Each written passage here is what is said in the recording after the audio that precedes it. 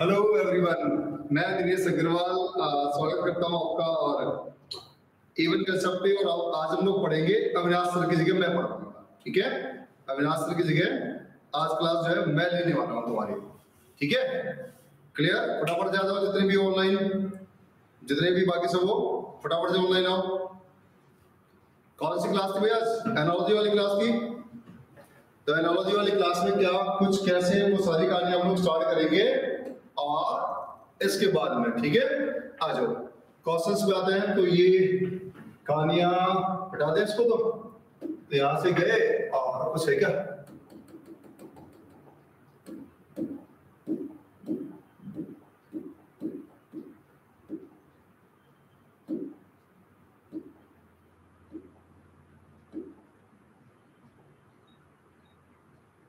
ठीक है?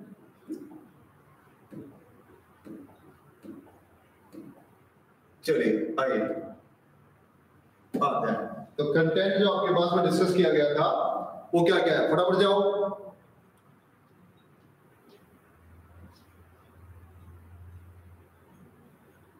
कौन सा कंटेंट था? कौन कौन ऑनलाइन है भाई? चलिए हेलो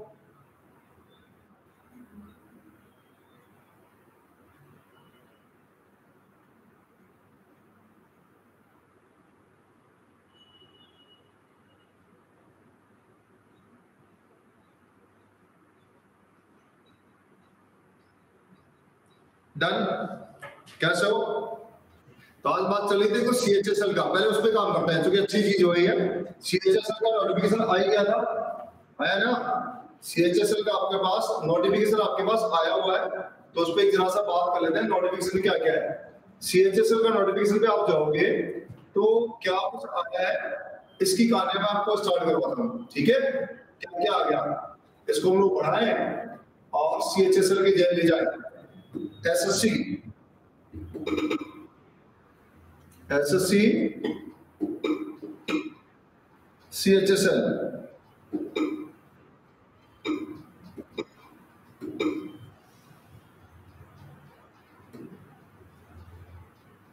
SSC CHSL SSC की साइट पे अगर हम लोग जाके देखें तो क्या क्या आपके पास वैल्यूज़ है? ठीक है? सी एच एस एल आ गया था डॉट निकिन पे चले जाते हैं, ज़्यादा अच्छा है। इसको क्लिक करा S S C dot nic dot in चलो। एस एस सी आ गया। नोटिफिकेशन आ गया भाई। एस एस सी की ऑथेंटिकेट साइड है। तो यहाँ पर आपका आ गया नोटिफिकेशन डन आ जाओ। ये रहा नोटिफिकेशन आज इसमें बात कर लेते हैं। क्लास सेकेंडरी है, पहले बात कर लेते हैं क्या कुछ आया, क्या कुछ रहा, क्या कुछ नहीं होएगा ये एसएससी का आपके पास नोटिफिकेशन आपकी स्क्रीन पे है, ये। और क्या कैसे कर सकते हो, इसकी कहानियाँ मैं आपको सुना देता हूँ। तो कहानियों के नाम पे आप जाओगे तो क्या क्या आपको आना था क्या क्या आपको नहीं आना था क्या क्या आपके पास में प्लस हो गया क्या क्या आपके पास में माइनस हो गया, ये सारी कहानियाँ सुन लेते हैं। चलिए, पहले तो एसएससी प्लस टू का नोटिफिकेशन आपके पास में आ ही गया है, ठीक है? कब तक submission of the online form application कब से स्टार्ट बेटा छह तारीख से लेकर और चार जनवरी तक है। छह दिसंबर से स्टार्ट हो गए मतलब आज से स्टार्ट होंगे। आज से फॉर्म होना स्टार्ट हो गए और ये फॉर्म कब तक भरे जाएँगे? तो चार दिसंबर पे। इसमें भी टीयर टू शुरू कर दिया है। बिल्कुल बढ़िया, अच्छी बात है। हमारे लिए तो बढ़िया ये फ्रूटफुल है। तो आगे आपका ये हो गया आपका। कल तक आप फॉर्म भर सकते हैं? ये वाला लेटर आपका क्लियर फॉर्म या फॉर्म की जो डेट वो आपके पास में आ गई थी आज तक के लिए तो फॉर्म की डेट आपके पास क्लियर हुई। आगे क्या कर सकते हैं? तो आगे का मामला ये है, और काम की चीज़ क्या है? एग्ज़ाम कब होंगी? एग्ज़ाम कब हो सकने की संभावना है?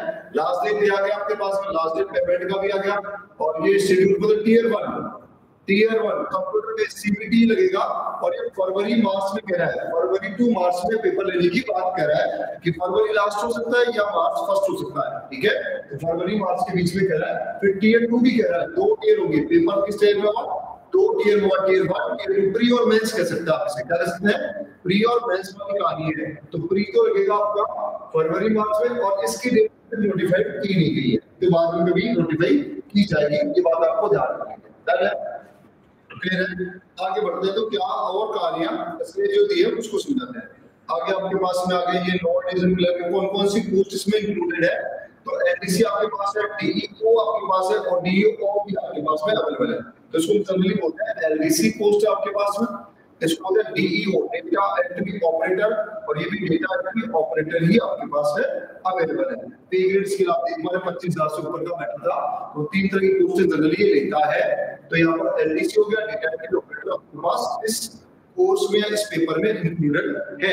इस चीज़ को ध्यान रखना आगे आप लेके चले। तो और क्या आपको देखना था तो चलते वैकेंसीज कितनी है? वैकेंसीज कितनी है? टेंटेटिव वैकेंसीज आपके पास है, साढ़े चार हज़ार। साढ़े चार हज़ार टेंटेटिव है ध्यान रखना। लेकिन जैसे कि एसएससी सीजीएल में लोग देख चुके हैं, आप उसमें आ जाए टेंटेटिव लगभग अठारह बीस हज़ार, और उनके बढ़ गए सैंतीस हज़ार। आपको याद होगा जीडी वाला। जीडी में कितना आया बेटा? तो जीडी में आपके पास में वैकेंसी तो आपके पास जीडी में वैकेंसी थी। तो वहाँ पर आपने देखा कि कितनी के आसपास? बेटा छियालीस हज़ार के आसपास तो मैं ही बोल सकता हूँ कि यहाँ पर भी वैकेंसीज और वैकेंसीज आपके पास में आएँगी आएँगी। क्या चेंजेस किए गए उसको देखते हैं। अब ये आपके पास में अगर रिजर्वेशन फॉर द कैंडिडेट्स आपके पास में आते हैं डिसेबल के लिए क्या आपके पास आता है तो कौन से डिसेबल आप यहाँ पर जा सकते हैं पेपर देने और ये आपके पास में इनकी पर्टिकुलर वैरायटी है जो कोड में आप काम में लेंगे। क्या होना चाहिए कैंडिडेट के पास में? एजुकेशन क्वालिफिकेशन क्या होना चाहिए भाई? इंडिया का पर्सन हो नेपाल का पर्सन हो भूटान का पर्सन हो आ सकता है पेपर हैं, ठीक है? उसके बाद में एलिजिबिलिटी से जो ठीक है जो हो गया। आगे का जो काम की चीज़ें उसकी बात है यहाँ पर क्या है? एज लिमिट अठारह से सत्ताईस साल के बीच में कि अठारह साल का दो हज़ार बाईस को अठारह साल का हो जाना चाहिए। जो भी बच्चा जिसका बर्थडे इस साल है और जो अठारह का हो गया है तो दो हज़ार बाईस को हो गया था तो के साथ मतलब कब? दो एक दो हज़ार पचानवे के बाद का और एक दो हज़ार चार से पहले का बच्चा की हो। ठीक है? पचानवे के बाद चार का, अठारह से सत्ताईस साल के लिमिट वाले बच्चे इसका फॉर्म भर सकते हैं। ठीक है? कैटेगरी के अकॉर्डिंग जो भी छूट आपके पास फॉर्मेट में रहेगी रहेगी। ठीक? ये सब भी की ये सब अच्छा छूट आपके पास। आएगी, इसको थोड़ा सा ध्यान रखना था, ठीक है? आगे क्या करता है? और इंपॉर्टेंट ईयर फार्म फ़ीस तो सौ रुपए ही होगी कोई बड़ा मैटर नहीं है। एक्स सर्विस में यहाँ पर है, काम की चीज़ क्या है? गैलेंट्री अवार्ड वाला भी है certificate of the format of the certification ये भी कर दोगे कोई बड़ा मैटर करता आगे बढ़ते हैं। तो यहाँ पर provision of the compulsory retirement assistant of scrap ये ब्लाइंड से होता है कि ब्लाइंड पर्सन को अगर पेपर दे रहा है तो उसको स्क्रैपर मिलता है तो वो अपना स्क्रैपर चूज़ कर सकता है। उसके अकॉर्डिंग ये नॉर्म्स यहाँ पर लिखे गए हैं। ठीक है? और ये क्या आ गया आपका? एजुकेशन क्वालिफिकेशन बारहवीं पास के व्यापक था पता ही था अपने तो ट्वेल्थ पास के व्यापक के पास में आता है। सीएचएसएल का नाम ही। क्या कहते हैं? Standard to the candidate twelfth pass बारहवीं पास होनी चाहिए या फिर इसके इक्विवेलेंट कोई एग्ज़ाम आपके पास में हो। जो भारतीय डिग्री या डिप्लोमा देने वाली क्वालिफिकेशन भी यूनिवर्सिटी के थ्रू ठीक है? और ये कब तक होना चाहिए? कट ऑफ़ डेट क्या है इसकी? तो ये एक चार दो हज़ार तेईस तक उसके हाथ में होना चाहिए। मतलब आप अपीयर वाला कहानी जो है अलाउ नहीं कर सकते, ठीक है? कि आपके पास में कब तक ये होना चाहिए था? एक चार दो हज़ार तेईस मतलब इस साल जो बारह का पेपर दे रहे हैं बच्चों थोड़े से बाहर रखेंगे ठीक है? अगर की पता तो सकता है कि इस साल और भी आपके पास में जुड़ जाती है इन चीज़ों को, ठीक है? जो बारहवीं कर चुके हैं, जो फ़र्स्ट ईयर के बच्चे हैं, वो इसको अप्लाई कर सकते हैं आसानी के साथ ठीक है? और आपके पास में और डॉक्यूमेंट वेरिफिकेशन होएगा तो आपका प्लस टू की मार्कशीट चाहिएगी ओरिजिनल में और बाकी सारी कहानियाँ, वो सब चीज़ें। इन केस ऑफ़ क्या था हाउ टू अप्लाई करना है तो ऑनलाइन पे आपको जाना है अकाउंट बनाना है उसका अप्लाई आप कर देंगे, ठीक है? फ़ीस क्या लगती है तो मैंने पहले कहा था कि ज़्यादा कोई फ़ीस नहीं है हंड्रेड रुपीज़ का फ़ीस लगता है इसका, ठीक है? बाकी जो डिसेबल है कैटेगरी के बच्चे उनकी फ़ीस भी नहीं लगती है। तो ये भी बड़ा सा कंटेंट है एसएससी का पेपर ज़्यादा होता है, क्योंकि जनरली अगर आपको देखना है तो फ़ीस बहुत ज़्यादा लेवल पे होती है तो इसका आप एक बार ध्यान रखना। सब माइक इशू हाँ बेटा, आज भी माइक इशू है। माइक इशू तो आज भी एक्चुअली क्या, कोई नहीं है। आज ये सॉरी नहीं पाया शादी का इतना कि जो जिसको बोला गया था, वो आए ही नहीं यू मान लो ठीक है? क्लियर है? चलो, आगे के आते हैं तो क्या है और कहानियाँ जितनी आपको आनी चाहिए। थी कहानियों के नाम पे आप जाओगे तो क्या एग्ज़ाम पैटर्न है? इसकी बात कर लेते हैं, ज़्यादा अच्छा है। एग्ज़ाम सेंटर्स जहाँ भी आप पढ़ते हैं, वो पर्टिकुलर एरिया में आपके एग्ज़ाम सेंटर्स हैं। और ये आ गया सब्जेक्ट नेम क्या क्या आएगा? ये स्किप टीयर वन के अपने काम का तो यही है। Tier one exam tier one में क्या क्या आएँगे? तो पहला पेपर जो लगने वाला है, उसमें आपके आएगा इंग्लिश जनरल इंटेलिजेंस जिसको आप रीजनिंग बोलते हैं, ठीक है? ये आपको क्वांटिटेटिव एप्टीट्यूड जिसे आप मैथ्स बोलते हैं, और ये जीए या जीके बोलते हैं आप इसे। क्या बोलते हैं? जीके ठीक है? अब जीके के नाम पे आप गए तो क्या क्या हुआ? सुनो। 25 25 क्वेश्चन आएँगे, और नंबर कितने होंगे? 50 50 नंबर होंगे। ठीक है? 60 मिनट के लिए आपके पास आएगा और 60 मिनट में आपको सौ क्वेश्चन करते हैं। 25 25 के चार सेक्शन आपके पास आएँगे, जैसे कि प्री, आपका सीसीएल का एज इट इज़ फॉर्मेट में आपका सीएचएसएल का भी होगा। ठीक है? तो बराबर ही काम है, कोई बड़ा मैटर यहाँ पर आपके पास में रहा, आया नहीं है। लेकिन चीज़ें तो रीजनिंग वहाँ पर आपके पास में उतने वेटेज की है और मैथ्स फिजिक्स सारा छोटा टीयर वन में क्या होगा कंसिस्टेंट ऑब्जेक्टिव होंगे मल्टीपल चॉइस क्वेश्चन होगा। हिंदी इंग्लिश दोनों में होंगे तो कोई बड़ा नंबर आपके पास भी है। नेगेटिव मार्किंग में 5 5 मतलब दो नंबर मिलेंगे तो चौथा नंबर कटेगा बी इसका ध्यान रखना, ठीक है? अब आता टीयर 2 ये टीयर 2 में क्या सकते हैं उसको देखते हैं। टीयर 2 वाले एग्ज़ाम में क्या किया? इसने सेशन वन था 2 घंटे 15 मिनट का। 2 घंटे 15 मिनट का सेशन है मतलब सवा दो घंटे का सेशन है। इसमें तो क्या क्या आएगा? और उसके बाद क्या क्या आएगा? उसकी बात कर लेते हैं। तो यहाँ पर सवा दो घंटे के सेक्शन में क्या कहानियाँ करी है, इसको देखते हैं। सवा दो घंटे में इसने दो सेक्शन पहले एक सेक्शन ये वाला। इसमें क्या पार्ट किए इसके तीन पार्ट में सेक्शन वन सेक्शन टू और सेक्शन थ्री वाला ओपन किया गया। ठीक है? अब क्या क्या था? इसमें आपके पास मैथमेटिकल और रीजनिंग को ऐड किया गया। टोटल क्वेश्चन दिए गए। 60 और पर क्वेश्चन की वैल्यू कर दी गई तीन मतलब 180 मार्क्स दिया गया। ठीक है? और one of the each section तीन सेक्शन दिए गए तो एक घंटे का ये आपके पास आएगा मॉड्यूल एक घंटे का ये आपके पास आएगा, और चौथा घंटे का ये मॉड्यूल आपके पास में आएगा। समझ में आ रही बात? क्लियर है? कि आपके पास तीन पार्ट आएँगे एक घंटे के लिए मैथ रीजनिंग खुलेगी, साठ मिनट में साठ क्वेश्चन करने उसके बाद आपका इंग्लिश और जीके खुलेगा। इंग्लिश के 40 होंगे जीके के 20 होंगे कुल मिलाकर 60 क्वेश्चन इस पार्ट में होंगे पार्ट की वैल्यू कितनी होगी? 180 नंबर की ही होगी मतलब कुल मिलाकर 360 नंबर का मैटर हो गया, ठीक है? आगे की आगे क्या है? तो आगे ये कह के जा रहा है कि 15 मिनट के लिए आपके पास में खुलेगा कौन सा? कंप्यूटर नॉलेज कंप्यूटर नॉलेज अलग से ऐड किया गया है और कंप्यूटर नॉलेज के लिए 15 मिनट मिलेंगे मतलब चौथा घंटा आपको मिलेगा। क्वेश्चन होंगे 15 और मार्क्स होंगे 45 ठीक है? कितने होंगे मार्क्स होंगे 45 ये तो सेक्शन 1 ठीक है? सेक्शन 1 में तो ये होगा। अब आपके पास में सेक्शन 2 में क्या लेके आएगा, उसकी कहानी बताता हूँ। सेक्शन 2 में जो लेके आया, ये कह रहा है कि स्किल टेस्ट होगा टाइपिंग टेस्ट होगा, लेकिन बाद की बात है स्किल की जो बाद की बात है, कब होगा, इसमें टाइपिंग और टाइपिंग टेस्ट होगा डीईओस के लिए और एनडीसी के लिए तो यहाँ पे टाइपिंग स्पीड में दिए 15 मिनट में आपको करने कितने तो जो भी एज पर रिकॉर्डिंग है, और टाइम में आपको करने जो भी एज पर रिकॉर्ड आपको क्वेश्चन में देता है। तो आपको दो टाइम में पेपर हुआ। टाइम वन वही है जो पुराना फंडा था। टाइम टू में इसने क्या किया? सेक्शन में रीजनिंग जोड़ दिए और जीके भी जोड़ दिया और कंप्यूटर भी जोड़ दिया, तीन चीज़ें आपके पास में वापस से जोड़ के काम में ले रहा था, ठीक है? वापस से जोड़ के क्या ले रहा था? एक काम में ले रहा था तो ये कंटेंट भी आपको क्लियर होना था।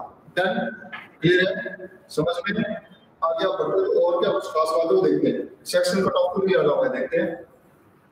Module one section one section one में आपके लिए डाला हुआ है क्या? सेक्शन वन में डाल दिया कि आपके पास मॉड्यूल वन मैथमेटिकल एबिलिटी अगर रीजनिंग आएगा डन उसके बाद सेक्शन टू में इंग्लिश आएगा, अब ये आएगा जीके उसके बाद कंप्यूटर नॉलेज होगा टाइपिंग टेस्ट हो गया ठीक है? अब कहते हैं कंडक्टेड टू सेशन में होगा सेशन वन और सेशन टू में कंडक्टेड होगा।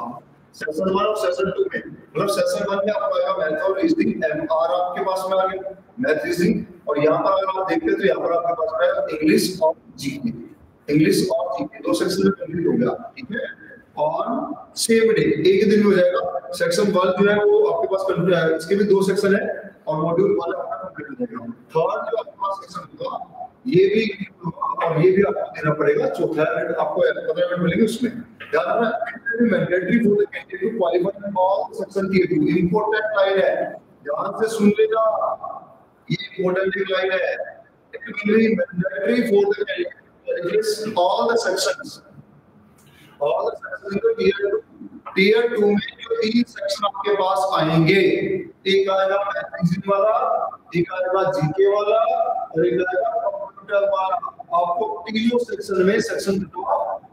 है, इसको भी पास करना ज़रूरी है, इसको भी पास करना ज़रूरी है, उसको भी पास करना ज़रूरी है। इस चीज़ को ध्यान रखना, ठीक है? इन तीनों को इंडिविजुअल पास करना। इसका ध्यान रखना है क्लियर तीनों को इंडिविजुअल आपको पास करना है। ये आपको देखना है यहाँ साफ़ साफ़ मेंशन है कि को इंडिविजुअल पास करना है tier multiple choice question except for the module second of uh, section third ठीक है the cost will be the same English नहीं बोलते हो कोई दिक्कत नहीं है तो नेगेटिव मार्किंग भी होगा और नेगेटिव मार्किंग कितना होगा of one mark for each wrong answer section 1 section 2 and the module of second third अच्छा there will be a negative marking one third की मार्किंग ध्यान रखना नेगेटिव बेटा तीन नंबर मिलेंगे तो एक नंबर कटेगा भी। मैं इसमें नेगेटिव मार्किंग 1 बाय 3 की है। तीन नंबर एक क्वेश्चन के लिए मिलेंगे तो एक नंबर कटेगा भी। छूटा नहीं है। साफ़ साफ़ लिखा हुआ ध्यान रखना एक मार्क्स काटा जाएगा। कितना मार्क्स काटा जाएगा? एक मार्क्स काटा जाएगा। एक गलत आंसर के लिए साफ़ साफ़ लिखा है टीयर टू में इसका ध्यान रखना टीयर टू में है एक नंबर के लिए वाला सकते हैं। उसके बाद टाइपिंग टेस्ट आ गया और what of skill test for the course of DO ये तो आपका मेथड लगेगा और ये पैरा का मेथड लगा टाइपिंग स्पीड के आपके लिए जो कंसेप्ट तो ये सारे बेसिक स्लाइड दिया। मैंने आपको जॉब के पर्पज से दिया है, ठीक है? गुड इवनिंग सोनू राधे राधे, ठीक है? कंटेंट आपको समझ में आ रहा था कि कंटेंट हुआ क्या क्या किया गया? ये सारी कंटेंट जो आपको समझ में आ रहा था। अब मैं ब्रीफ करके समझा देता हूँ आपको। ब्रीफ जाओगे तो क्या क्या कहानी है जो आपको समझ में आ है? यहाँ पर कहानी जो सीख रही है, वो क्या क्या है? सुन लो आराम से। कहानी नंबर एक। कहानी नंबर एक क्या है? तो यहाँ पर आपको सीखना था कि यहाँ पर जो भी जो भी मैटर आपके पास आएगा किस तरीके से करना है। तो आपके पास एक वैकेंसी है C S S L higher secondary level हमारे पास में नौकरी लगती है। ठीक है? हमारे पास में पेपर में तीन टेस्ट देती है। इसी बोला है डेटा एंट्री ऑपरेटर बोला है ऑफिसर डेटा एंट्री ऑपरेटर की बोला है। फ़ीस कितनी बेटा? सौ रुपए कौन अप्लाई कर सकता है? जो अठारह से सत्ताईस साल के नागरिक है। वो अप्लाई करेगा। कितने पास है? बारहवीं पास है। तो बारहवीं पास सभी के लिए ये वैकेंसी उसके बाद आपको सीखना है कि वैकेंसी कितनी बता रहा है। तो अभी ये कह रहा है कि पैंतालीस सौ के आसपास वैकेंसी कितनी भाई? तो लगभग लगभग पैंतालीस के आसपास वैकेंसी आपकी यहाँ पर है। आपके पास है। और मैंने फिर से कहा कि वैकेंसी बढ़ जाएगी और भी बढ़ के वैल्यू आपके पास आएगी। ठीक है उसका अगली कहानी सुनाऊँगा तो कहानी ये है, परीक्षा जो होगी वो दो पार्ट में होगी। एक आप इसे बोल सकते हैं प्री के पार्ट में होगी, जिसे आप टी कहते हैं। और एक आपके पास आएगी के नाम पे। किसके नाम पे आएगी बेटा?